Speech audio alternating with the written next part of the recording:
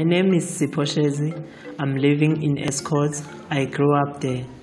I started off in life with very, very few advantages.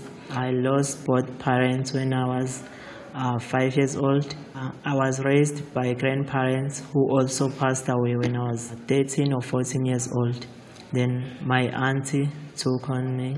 My future did not appear particularly promising until I found something that uh, really changed my life. Nestle Adopt a School initiative was uh, launched in 2011 uh, when we adopted Mpumelelo High School in Estcourt in Ngonyameni. Nestle is taking some of our learners to the factory and is also taking them to the different tertiary institutions.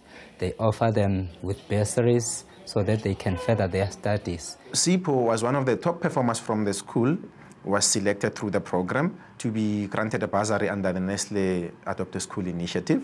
And then he's gone on to do remarkable things and he's now part of our graduate program. In 2012, uh, we drilled a borehole at the school uh, so that there could be water in the school and so that you know enough time can be dedicated to classes as opposed to getting kids to go and fetch water during the day.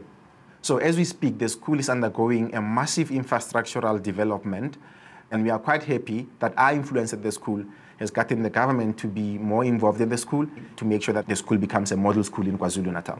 The Adopt a School initiative is really, really changing people's life. I'm a living testimony of that. Through the program, we managed to identify talent. We managed to help out in terms of addressing issues of poverty in the area.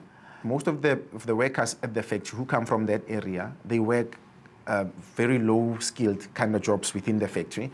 But then the dream here is for us to ultimately have factory managers and factory engineers coming from the very same community and working for Nestle operations.